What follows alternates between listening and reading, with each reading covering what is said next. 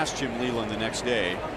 And Paulo Orlando hits it well into left center field. Adam Eaton's back. Gone! Paulo Orlando! Paulo, two-run homero. There we go. And the Royals lead 4 0 in the seventh inning. Now, it sounded extremely loud, but I wasn't sure if it was going to have a chance to leave the yard here at U.S. Cellular. But Paulo had a nice little flip, and most of the time, and I'll tell you all the time, hitters know before anybody that they got it.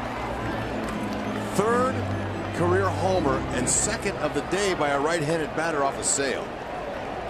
And they've always said that the ball carries in this ballpark to dead center better than any other quadrant of the ballpark.